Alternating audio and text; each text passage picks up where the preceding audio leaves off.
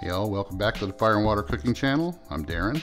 Today I'm going to do something just a little bit different. I'm going to show you what you can do with some of these cheap uh, prime rib roasts that are on sale right around Christmas and Thanksgiving. I actually picked up a couple today. Um, our local grocery store, they were at $5.88 a pound for choice grade um, rib roasts. So there was a limit two, so we bought two. And what I'm gonna do with these, and since I already have a prime rib I already got ready that we're gonna cook for Christmas, I'm actually gonna show you what you can do with these to make them even better. So I'll be right back.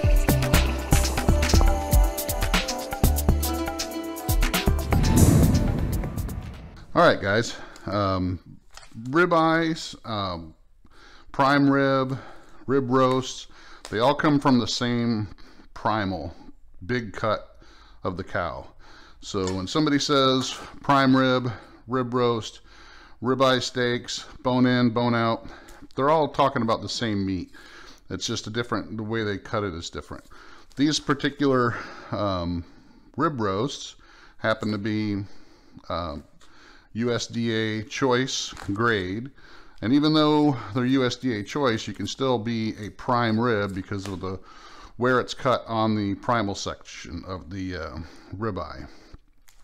This particular one is not called prime rib because it's probably cut from different sets of the bones. Um, usually it's closer to the front of the roast of the primal is what's considered the prime rib area. So it's the first three or four bones of the uh, primal.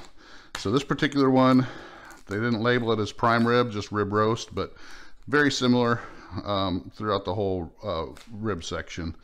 But what I'm going to show you what we can do with this, um, of course, I picked up two of these today and don't want to have a roast every time. Actually, you can cut these into your uh, ribeye steaks. And I've already done it with one.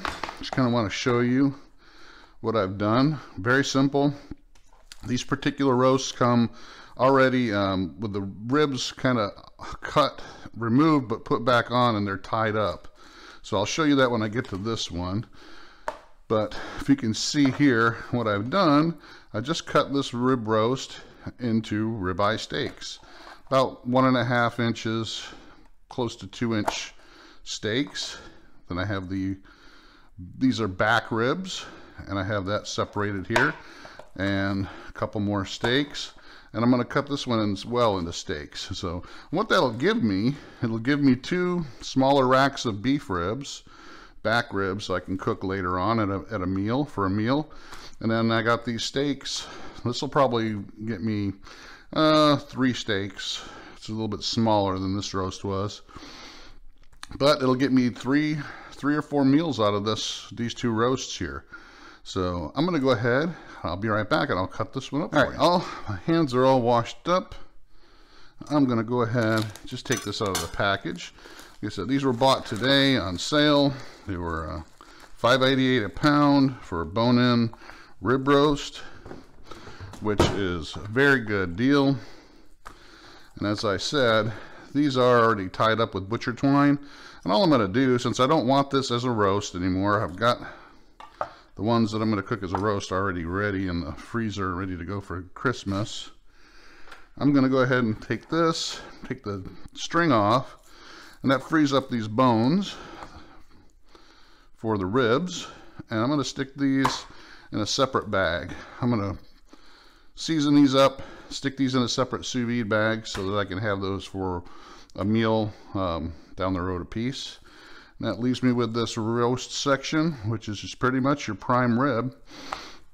And what the uh, the convenience of those um, butcher twine, it kind of, they already spaced it out about an inch and a half to two inches apart. So that actually makes it really easy to cut into steaks if you want. But just make sure you shape it, make it as even as possible.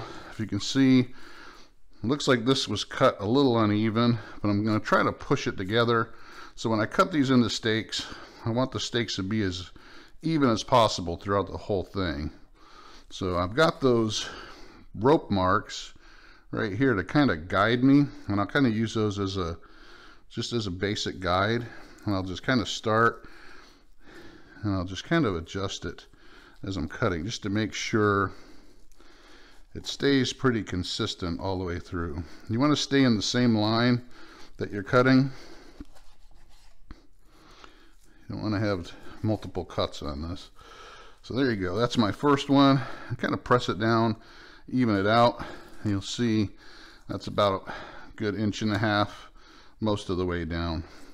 Do the same thing on this one. Just kind of make sure, use that rope uh, as a guide there, the rope marking. And just kind of make sure it stays the one shape the whole way. You can leave the ropes on there if you want, the uh, butcher twine, when you're cutting it, if it makes it easier for you. I just find it gets in my way. And there you go. Now I've got, out of this rib roast, I've got three decent ribeye steaks, a set of um, beef back ribs, out of those two roasts. I think it was a total of, um, one was like $32, one was like $26. So I've got four ribeye steaks in this one, three decent, good sized ribeye steaks on this one, and two racks of back ribs. So that's it, guys. Pretty easy. Like I said, this is a great time because you can't find uh, choice ribeye steaks out there for $5.99 or $5.88 a pound like this was. So usually you're talking over $7, $8, $9 a pound. So if you can find them, freeze them up. Buy them up, buy as many as you can get when they're $5.99 or so a pound. Put them in the freezer, cut them up into steaks.